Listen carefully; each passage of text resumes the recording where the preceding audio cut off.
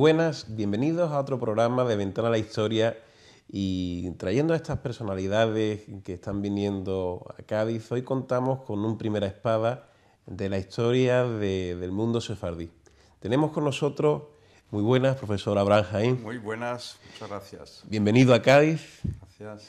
Le voy a presentar eh, brevemente, porque su currículum es extensísimo, al profesor, al doctor eh, Abraham Jaén. El profesor Abraham Jaén es sefardí, de orígenes hispanos, nacido en Jerusalén. Es doctor en historia por la Universidad de, Tel Aviv y uno de los grandes expertos internacionales en la historia del judaísmo español y del mundo sefardí. En su currículum destacamos que ha sido director general del patrimonio sefardí en el Ministerio de Educación y Cultura de Israel. Además, estábamos hablando antes que es coordinador de la comisión del Premio Samuel Toledano, donde ha impartido eh, docencia desde el año 1983 hasta recientemente, hasta el año pasado, 2012, y es también embajador eh, para la paz por la Universal Peace Federation, eh, comendador de la Orden del Mérito Civil, miembro de la Cofradía Internacional de Investigadores de Toledo y también, por esta gran trayectoria, es presidente honorífico de unos grandes amigos del Centro de Estudios Medievales de Rivadavia y académico correspondiente ya en Andalucía eh, pero es el académico correspondiente en Jerusalén de la Academia Iberoamericana de la Rábida. Bien, como pueden ver ustedes... Del norte al sur. Del norte al sur, y eh, es la unión del extremo del Mediterráneo con, digámosle, con, con, su, con tu España, porque estás en, en, casa, está en casa, profesor. Queríamos preguntarle, profesor Abraham, eh, eh Jaime, ¿qué, ¿qué, nos puede decir eh, como experto internacional en el tema, sobre, la presencia judía en España? Yo digo a mí, en mi estilo que la presencia judía en España, que duró muchos siglos, se puede resumir en tres palabras de la misma raíz. Encuentro, desencuentro y reencuentro. Hablamos de una presencia como decía, duró muchos siglos y en, algunas épocas eh, se puede definir como presencia no solamente de coexistencia, sino de convivencia con los españoles de aquella época, los eh, miembros de las otras eh, religiones monoteístas, el cristianismo y el islam y no menos importante, una creatividad eh, cultural inmensa en diversidad campos del judaísmo. Hablamos de teología, de filosofía, eh, y también fuera del propio judaísmo, también poesía hebrea, y poesía hebrea no solamente sagrada, de temas religiosos, sino poesía que podemos definirla hoy en día poesía laica. Escribían rabinos ortodoxos eh, poemas de amor, de naturaleza, de primavera, de vino, etc. Y además había muchos científicos. Un barranco en la luna, por ejemplo, en el mapa de la luna, lleva un nombre Ibn Ezra de uno de los científicos judíos medievales. Y también había muchos médicos, muchos médicos, bueno, el más destacado es Maimónides, eh, pero también eh, Levi y otros que ejercían eh, la profesión de la medicina. Y también en la economía, etc. Y el desencuentro eh, significa primero un declive largo que duró 100 años, desde 1391 hasta 1492 y con el declive eh, se han disminuido mucho, eh, mucha la presencia eh, de los judíos en España, muchas juderías, varios judíos o se destruyeron o han disminuido eh, la población se quedó más dispersa dentro de España, pero miles ya salieron y cruzaron las fronteras eh, eh, de España. Y el punto final es 1492, cuando se, se, ha cumplido el decreto de expulsión. Se titula decreto de expulsión, pero en realidad había otra opción. O convertirse al cristianismo y quedarse sin perder los puestos de trabajo, los bienes, las casas, pero conversión verdadera. O si no, si no, no se hablaba de, una de un extreminio físico, sino marcharse del país, marcharse de la península y quedarse como judíos de fe. Y a partir de finales del siglo XIV, pero mucho más a partir del finales del siglo XV, se inicia la diáspora sefardí, la dispersión sefardí, las comunidades sefarditas de origen español dispersas en otras partes del mundo y se termina este capítulo de desencuentro.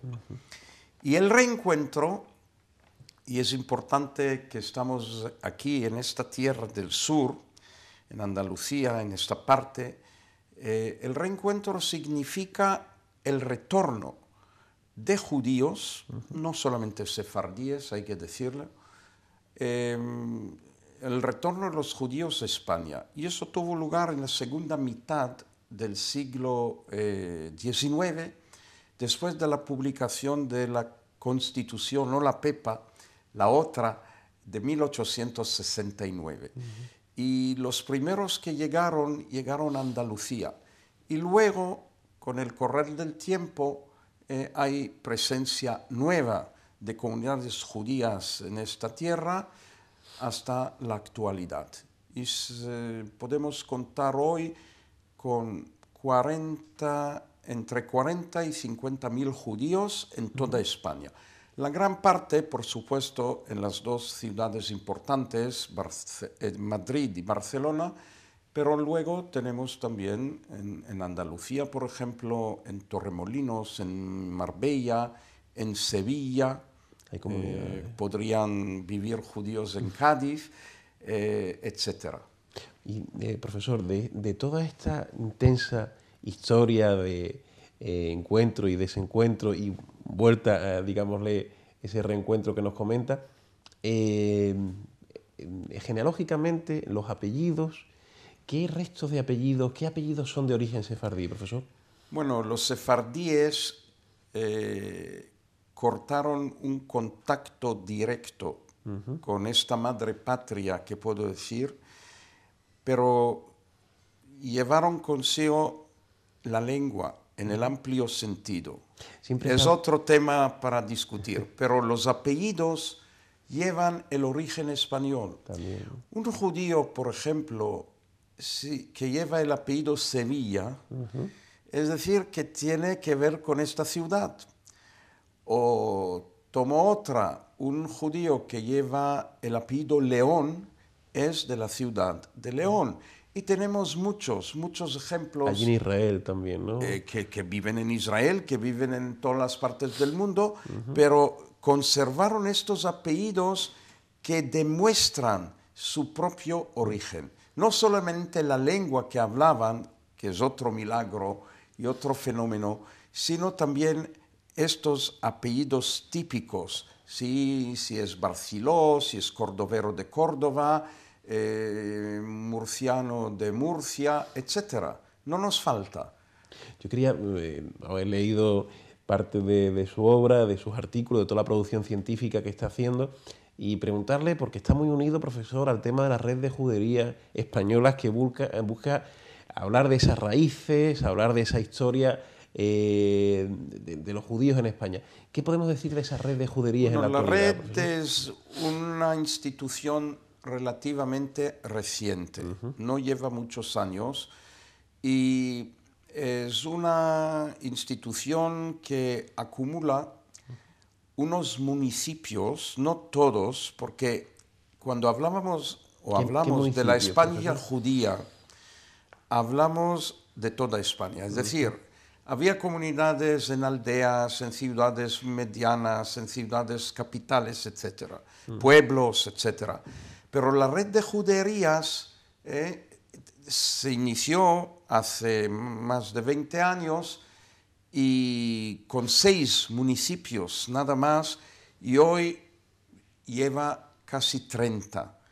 Y es una organización bajo un presidente que cada año se cambia, pero la Secretaría Permanente está en Gerona, porque la ciudad de Gerona fue la ciudad pionera eh, en establecer esta institución. Y tiene algo presupuesto, tiene actividades en común, eh, se celebra un día por año del judaísmo, eh, se conmemoran las comunidades, hay presentación de libros, conciertos, espectáculos. Rivadavia, por ejemplo, es uno de los municipios fundadores de esta red en Galicia.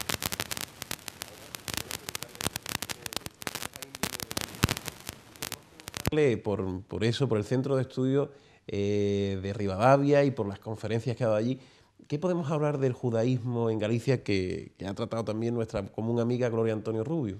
Sí, eh, los judíos de Galicia tienen su presencia también y su historia, eh, pero lo importante es que yo por casualidad conocí Rivadavia en el año 94 cuando se celebró allí unas jornadas de música sefardí.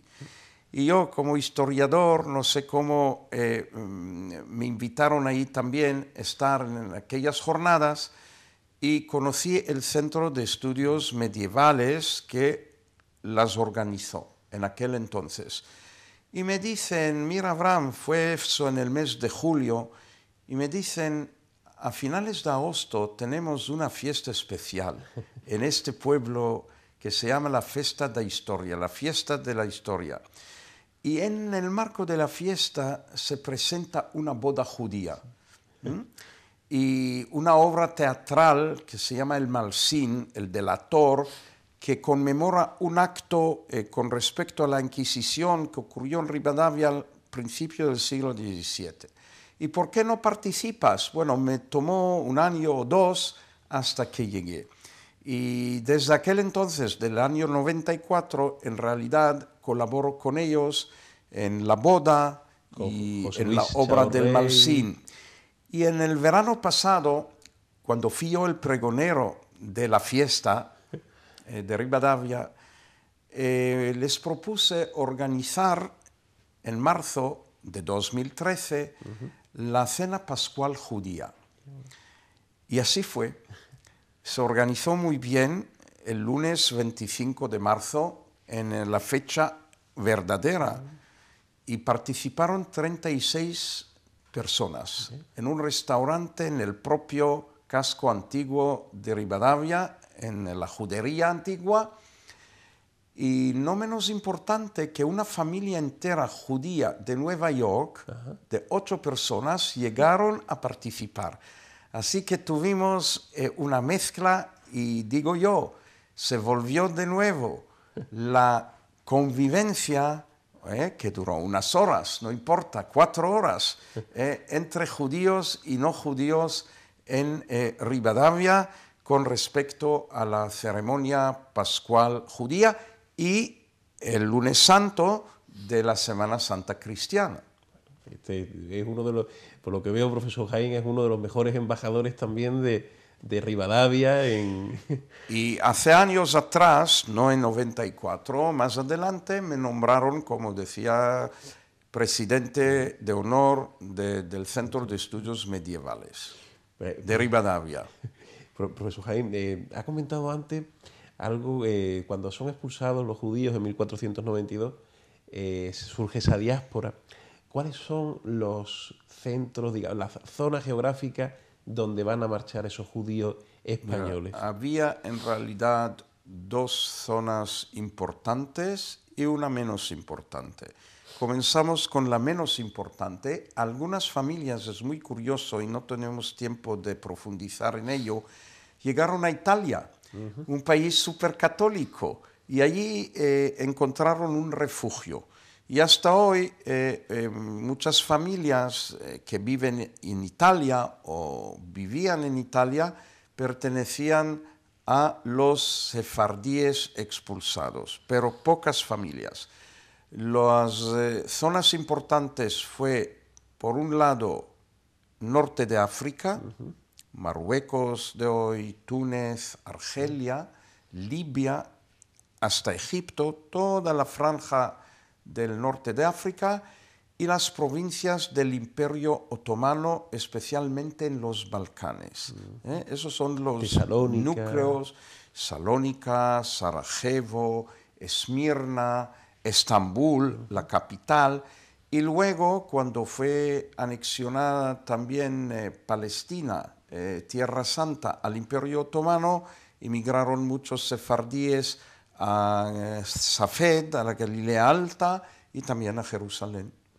Lo que comenta, la semana pasada estuvo aquí el director del Archivo Histórico de Auschwitz y nos estuvo comentando que allí en Auschwitz, Birkenau, está una de las placas, está escrita en ladino. Está Sí, hay que decirlo también, y estamos pocos días antes de la conmemoración judía del Día del Holocausto, donde en Auschwitz habrá unos acontecimientos especiales y también tendrá lugar el desfile de la vida, el contraste del desfile de la muerte que tuvo lugar a finales de la guerra.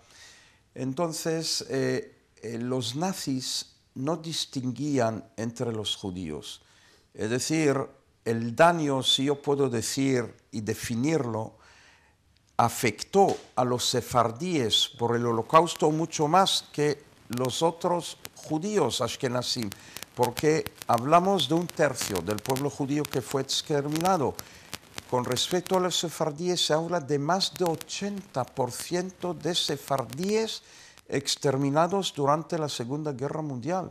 Y eso se nota, se notó por toda la creatividad cultural, una generación entera y además niños, eh, el futuro de aquellos judíos eh, eh, se mató y el, daño no se puede definirlo, el daño general del holocausto, pero si yo me limito a las comunidades sefarditas, el daño es peor, porque, como decía, más de 80% de los sefardíes fueron exterminados durante el holocausto nazi. Profesor, desde el punto de vista filológico es sobre el siglo XVII cuando, leyendo sus artículos, comenta que es cuando cristalizan las lenguas sefardíes. ¿Qué nos puede decir de ello? Sí, a mí me gusta hablar sobre este tema. Yo no soy de lengua, soy historiador, pero tengo el legado familiar propio, personal. Y yo durante mi niñez pasaba muchas temporadas en la casa de mis abuelos maternos. Y ellos hablaban el sefardí como lengua materna cotidiana. Mi madre hablaba con ellos igual.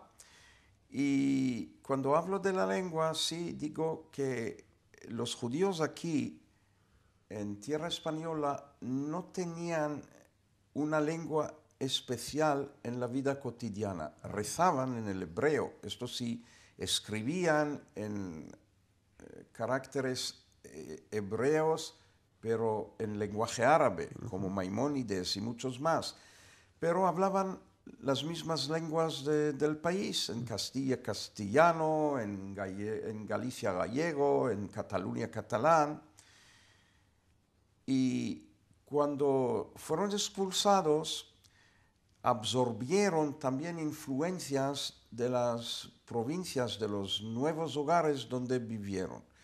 Es decir, en el Magreb eh, penetró eh, el lenguaje eh, árabe norteafricano de los dialectos de allí y se llama la lengua jaquetilla, ¿eh? de la palabra jaca en, árabe que es narrar, hablar. Y en eh, los Balcanes eh, penetraron muchas palabras turcas, griegas, eslavas y por supuesto en las dos zonas palabras hebreas. Y alrededor de 1620 eh, dice un eh, investigador de la lengua judeo-española que se cristaliza la lengua. Y ya más o menos la tenemos hasta hoy. En el siglo XIX hay un elemento nuevo que es el francés, por la influencia de la red de los colegios en toda la diáspora sefardí, la Alianza Israelita Universal. Y penetraron muchas palabras francesas hasta que el mismo investigador dice que ya no hablamos de judeo español, hablamos de judeo frañol, de francés, influencia francesa. Pero esta es la lengua que hasta hoy, hasta hoy sigue viviendo por otra forma. Profesor Jaime, sabemos que en 1996 hemos leído que el, Parlamento de Israel aprobó una ley que creó la Autoridad Nacional del Ladino y para defensa de su, cultura. Un presupuesto, ¿qué nos puede decir de eso? Con un presupuesto igual que lo hicieron en la lengua gemela judía, que es el yiddish, de las comunidades de Alemania, de Polonia, de Rusia y sus descendientes que viven hoy en Israel y en Nueva York, etc. Entonces, esta autoridad eh, quiere ayudar a investigar, publicar, eh, crear em, bueno, actividad eh, cultural también, una creatividad nueva. Por ejemplo, hay una generación actual nueva, pequeña, poca gente, pero escriben en ladino, poesía obras de teatro, fuera de la investigación propia y la publicación de libros. Se preparan eh, películas documentales sobre comunidades eh, tanto en España como en la diáspora sefardí, se forman eh, coros que cantan en ladino, grupos que cuentan. Yo organizaba en Jerusalén muchos años un ciclo cada mes que se llama Vini cantaremos y contaremos. Es decir, se cantaba en el ladino y también se contaban cuentos que son muy atractivos, humorísticos, eh, cuentos en ladino también. Profesor, es magnífico lo que, además lo que está contando y la vitalidad que parece que muestra eh, esta actividad. En su opinión, como experto en, en estos temas, en la actualidad, ¿qué podemos decir de la lengua sefardí? Mira, me preguntan siempre, eh, ¿esta lengua sobrevivirá o morirá? Yo digo, no morirá en absoluto, sobrevivirá, pero de otra forma, ya no más como la generación de mis abuelos y todavía de mi madre, que nació en 1906, hablo de Israel, como lengua materna y cotidiana, sino como lengua de textos, de enseñanza Hoy hay libros de gramática en ladino que no existían nunca.